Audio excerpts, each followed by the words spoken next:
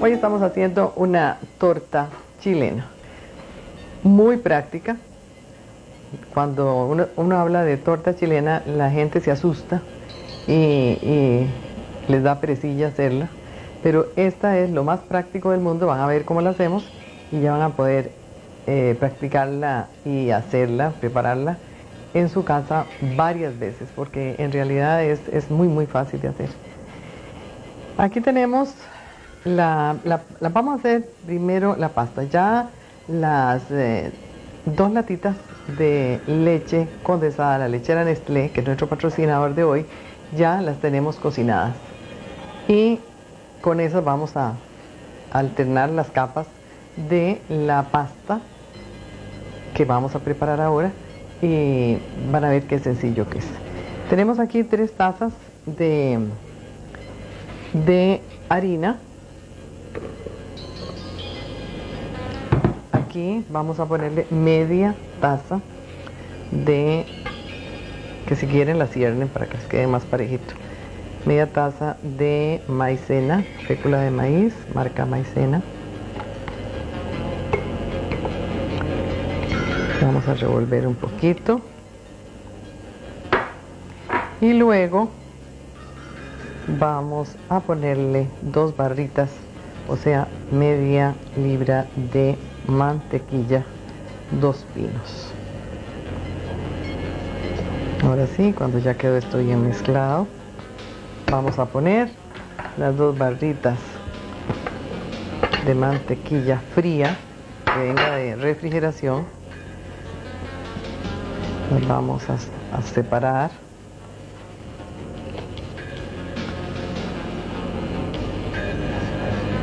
Y luego mientras están mezclándose esto. Entonces vamos a medir aquí una es que este es el mínimo que tiene esta batidora. Vamos a medir aquí media taza de agua helada le ponemos una cucharadita de sal rasa y tres yemas. Fíjense qué sencillo, que si como se las damos nosotros la receta siempre exacta. Ya ustedes no tienen que andar practicando porque para eso estamos nosotros, para hacerles, darles las recetas que les lleguen a ustedes exactas si por casualidad les queda, porque ya en este paso ya está ya lista la, masa, si por casualidad les quedan pelotitas muy grandes, sin ninguna problema pueden soltarlas, las más grandes, porque no vamos a seguir eh, batiendo. Las más grandes se deshacen con la mano, porque hay unas que les cuesta más para que quede bien pareja la pasta y luego entonces venimos a agregar. Seguidito vamos a agregar esto seguido no despacio porque no queremos que se bata mucho la, la pasta. Entonces esto va a chorrito rápido chorrito rápido. Y ya tenemos la pasta hecha. Y no vamos a batir más hasta este momento en que ya Fíjense en el instante que se hace la pasta de, para la torta chilena, el instante en que se hace. Y aquí lo que hacemos es untarla. Hay unos poquitos que abajo no quedaron incorporados, como un poquito de, de harina suelta. Entonces lo ponemos así y agregamos, apretamos y formamos un bolillo. Esto nada más, no se amasa, se aprieta y se forma un bolillo. Y en la próxima parte del programa, van, esto lo vamos a poner en 45 minutos en refrigeración. En la próxima parte, en el próximo segmento, salgo yo con este bolillito para partirlo en 10 partes, ya reposado en refrigeración 45 minutos y empezamos a estirarlos en los dorsos de unos moldes de capas de 23 centímetros. Vamos a una pausa. el rollo, de cada rollo sacamos 5. Es decir, del rollo entero lo partimos a la mitad y sacamos 5. Aquí tenemos las 1, 2, 3, 4 y estas 5. Aquí son sobrantes, que en la de menos nos puede salir una onceava capa. Entonces, lo único que hacemos es, sin engrasar, un molde de 23 centímetros por la parte, el dorso del, molde. Entonces vamos a estirar del centro hacia todos lados las... Eh, después recortamos orillas. Lo estoy haciendo despacio para que ustedes lo vean, si alguna que no lo sepa hacer. Yo siempre le digo a las personas que no saben hacer este estilo de, torta chilena, pero en realidad también está este aparatito que también es muy muy fácil de, de estirar que este los, los tiene tips. Y los vamos llevando hasta las orillas después recortamos y vamos poniendo de dos en dos. De dos en dos. Cuando vemos que está muy gruesa, nos seguimos estirando hasta las orillas. Aquí ustedes pueden observar cómo estamos estirando a las orillas. Pero es muchísimo más fácil que cuando estirábamos y poníamos en papeles y teníamos que esperarnos muchísimo.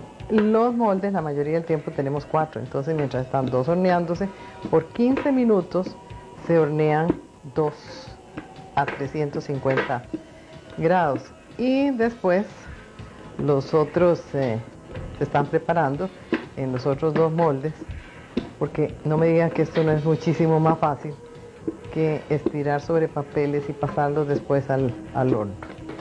Yo tengo hasta unos redondeles que no tienen, son unos redondeles de, tengo 18, redondeles de puro acero inoxidable o de, pueden ser también de aluminio. Entonces los voy haciendo y van entrando al horno y van saliendo, pero ni siquiera, esto es porque yo sé que ustedes lo tienen, que pueden hacer de 23 o 25 eh, eh, pulgadas. Ahora, ya, que ya están bien, bien delgaditas entonces pasan un poquito la recortan aquí. Este, esos recortes es lo que les digo que de repente sale la onceava. Y aquí estamos bajo un calor excesivo. Pero ustedes no, ya aquí se está hasta suavizando la pasta. Pero luego entonces la, le hacen las orillitas bien. La pulsan porque eso es importante para que no se abombe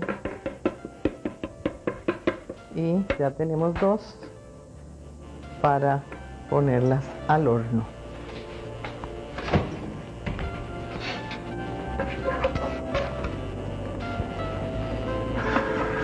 Sí, si aquí nos quedamos, no podríamos trabajar con esta pasta, con este calor. Entonces, si tuviéramos, vamos a poner los 15 minutos, si tuviéramos 350 grados, si tuviéramos otros dos moldes, en el momento que están pasando esos 15 minutos, estamos estirando los otros dos y así hasta que tenemos las 10 capas. En la próxima parte del programa vamos a alternar, yo me quedo haciendo las, el resto de las capas y eh, vamos a alternar. Aquí tenemos el agua caliente que vamos a hacer como por milésima vez el, el dulce, que, el lustre brasilero pero hay personas que no saben las proporciones. La, vez, la última vez que lo hicimos fue con dos claras de huevo, ahora la estamos haciendo con tres. Tres claras de huevo, vamos a ponerlas aquí. Una taza de azúcar y una pizca de sal. Esto nos falta nada más el vainol que lo vamos a pasar para acá porque aquí es donde se lo vamos a agregar luego de batirlo. Estamos poniendo el agua a hervir y esto lo vamos a mezclar.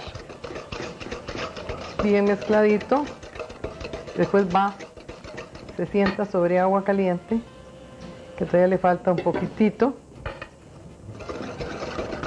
Y mientras hierve y se apaga el agua, vamos a armar, aquí tengo ya cinco capas, o faltan las cinco restantes, y quisiera que ustedes observaran esto. Hay que dejarlas refrescar, cuando las sacamos del, del horno las dejamos refrescar porque no se pueden rellenar calientes porque se suaviza. Se ponen en rejillas y después entonces hacemos esto. Y también si las tienen algunas uh, eh, recipientes, eh, pueden ser unos uh, de plástico, unas uh, cajas de plástico que puedan eh, ser, estar herméticas, cerradas o latas que estén herméticas, ustedes pueden perfectamente em, guardarlas y el día siguiente las hacen. Así estamos haciendo nosotros en este momento. Están tostaditas siempre y cuando las hayan dejado refrescar bien y después ponerlas alternadas con papel encerado y bien herméticas. Bueno, entonces aquí lo único que hacemos es poner tres cucharadas. Aquí tenemos tres latas de aquí, latas de leche condensada, la lechera Nestlé que las hemos puesto durante 20 minutos en olla a presión y las eh, enfriamos, las batimos, las mezclamos bien y luego entonces las vamos a ir repartiendo. Esto sí debe ser con un poquito de paciencia para llegarlas hasta las orillas.